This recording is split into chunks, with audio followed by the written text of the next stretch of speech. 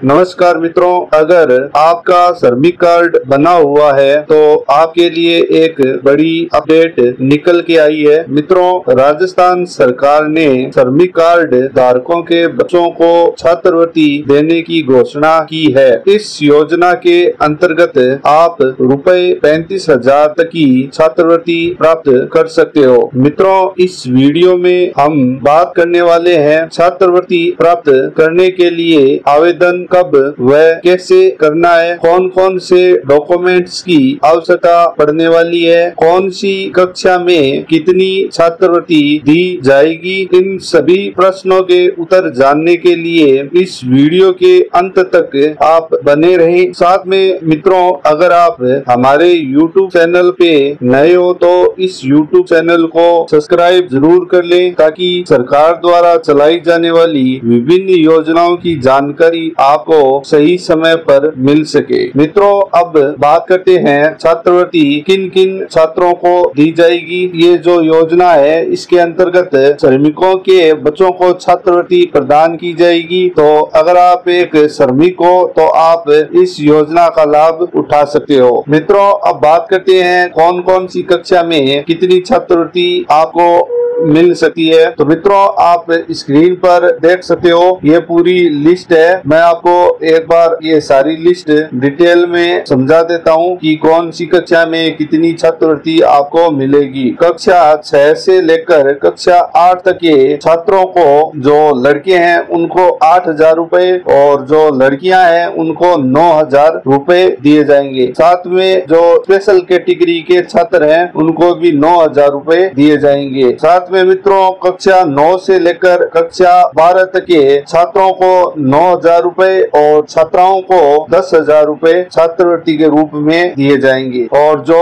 College में छात्र पढ़ते हैं, यानी ग्रेजुएशन कर रहे हैं, उन छात्रों को तेरह हज़ार रूपए और छात्राओं को पंद्रह हज़ार रूपए दिए जाएँगे। साथ में मित्रों प्रोफेशनल ग्रेजुएशन करने वालों को जो छात्र हैं, उनको अठारह हज़ार रूपए और जो छात्राएँ हैं, उनको बीस हज़ार रूपए दिए जाएँगे। और जो डिप्लोमा है, जो छात्र डिप्लोमा कर रहे हैं, उनको पंद्रह हज़ार रूपए और जो छात्राएँ हैं, उनको सत्रह हज़ार रूपए छात्रवृत्ति के रूप में दिए जाएँगे। और जो छात्र पीजी कर रहे हैं, यानी पोस्ट ग्रेजुएशन कर रहे हैं, उन छात्रों को तेईस हज़ार रूपए और छात्राओं को पच्चीस हज़ार रूपए दिए जाएँगे। तो ये सारी लिस्ट थी। आपको अच्छी तरह से समझ में आ चुका होगा कि कौन सी कक्षा में कितनी छात्रवृत्ति आपको मिलने वाली है। मित्रों, आगे बात करते हैं। आवेदन करने के लिए कौन कौन से डॉक्यूमेंट्स की आवश्यकता पड़ने वाली है तो आप स्क्रीन पे एक लिस्ट देख सकते हो। और जो सबसे पहले जिस डॉक्यूमेंट्स की आवश्यकता आपको पड़ेगी वो है आधार कार्ड। यानी जो भी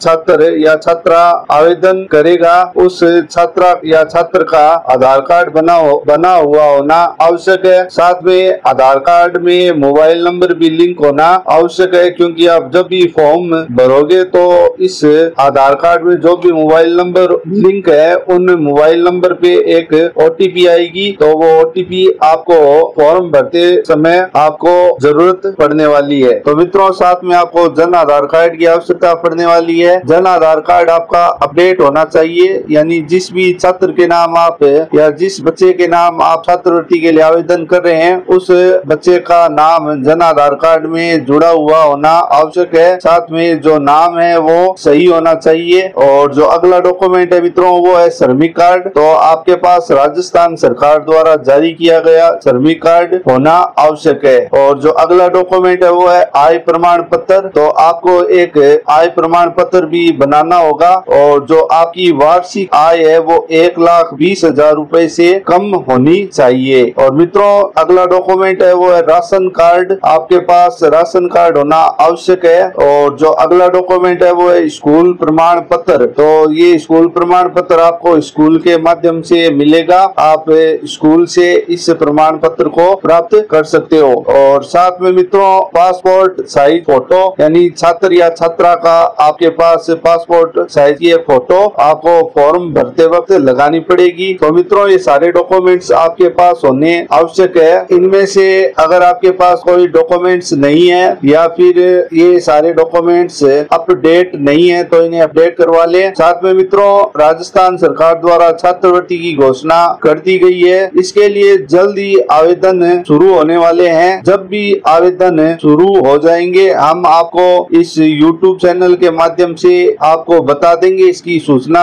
दे देंगे। तो मित्रों, मैं आशा करता हूँ, मेरे द्वारा बताई गई जानकारी आपको समझ में आ चुकी होगी। फिर भी किसी भी तरह का कोई कंफ्यूजन है तो आप हमें कमेंट बॉक्स में पूछ सकते हैं। साथ में मित्रों, हमारे यूट्यूब चैनल को सब्सक्राइब कर दें जब ये फॉर्म ओपन हो जाएँगे तो आपको इसकी जानकारी प्राप्त हो सके। तो मित्रों, मिलते हैं अगले वीडियो में। Okay friends thanks for watching this video